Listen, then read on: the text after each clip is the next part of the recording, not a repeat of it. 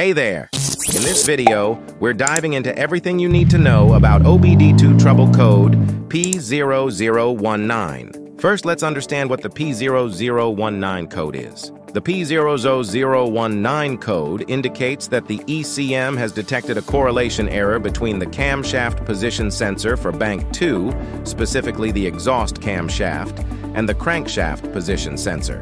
This means there's a misalignment between the camshaft and crankshaft positions. But what does that mean for your engine? Let's find out. The camshaft position sensor measures the position of the camshaft, while the crankshaft position sensor measures the position of the crankshaft. Both of these sensors send crucial data to the ECM, which uses this information to control ignition timing, fuel injection timing, and valve timing.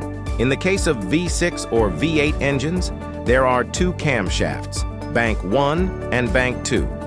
For dual overhead camshaft, DOHC engines, there are two camshafts per bank, intake and exhaust. When the ECU detects that the bank 2 exhaust camshaft position and crankshaft position are out of sync by a specific degree, it triggers the P0019 code. Now that we know what P0019 means, let's find out how to fix it.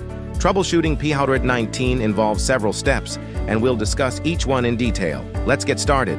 Before diving into specific repairs, perform an OBD2 scanner reset to clear the codes. Sometimes these codes pop up due to recent maintenance work and can resolve themselves after a reset. To reset the error codes, use an OBD2 scanner. You can find the best OBD2 scanner using the link in the description. Simply connect the scanner to your vehicle, follow the instructions to clear the trouble codes, and see if the P0019 code reappears. If the code comes back, it means there's a persistent issue that needs further troubleshooting. The first step is to scan for any other activated OBD2 codes. This helps us pinpoint where we need to focus, if there are other codes related to a faulty camshaft sensor, we should focus on the camshaft sensor. Similarly, if there are codes related to the crankshaft sensor, that's where our attention should go. Step 2. Visually inspect cam and crank sensors. Visually inspect the cam and crank sensors and their harnesses for damage. Look for broken or frayed wires. If you find any, repair them and recheck. If the crank and cam sensors are physically damaged, they need to be replaced. To find the right crank and camshaft sensors for your car, make and model, check the link in the description. If both the crank and cam sensors, along with their harnesses, are in good condition but the P0019 code still persists, further troubleshooting is required. Step 3. Test crank and cam sensors. You can test the crank and cam sensors using a multimeter. However, the testing method varies depending on whether you have a Hall effect sensor or a permanent magnetic sensor. To learn more about testing crank and cam sensors, check out our detailed video on this topic.